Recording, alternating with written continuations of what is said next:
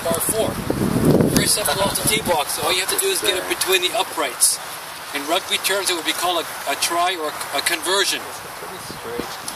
In football, American football, it'd be a simple field goal. A Lui Passaglia field goal. I say Lui Passaglia because he's a member here.